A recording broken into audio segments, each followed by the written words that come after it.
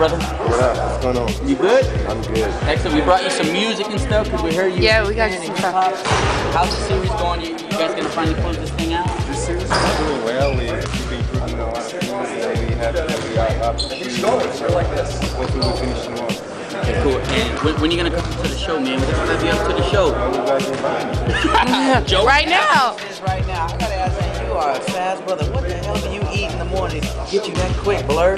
Uh, I don't know, man. It's something that I had when I was little. I don't know. I used to run a lot when I was a little kid.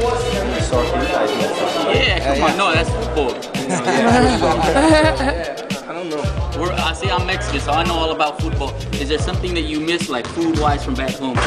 We, we, I always tell Joey about like tamales and enchiladas. Is there something that you miss from back home that you can't find here? What is it? Um, the soccer definitely. Uh-huh. I cannot play, but uh, the food, Like what kind of food? rice, beans, uh, steak, a lot of steak, Brazilian Oh, steak. oh.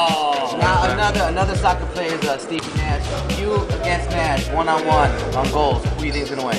On goals, I don't. I never play against him, so we always kick the ball. But he's good on skills. I, I never saw him play, so I can play. So I don't know. About him. I'll take you just 'cause- well, he can speak Spanish, but you speak Portuguese, so I don't know. Yeah, Who- yeah. I, I'll take Leandro just because he's darker skinned like myself.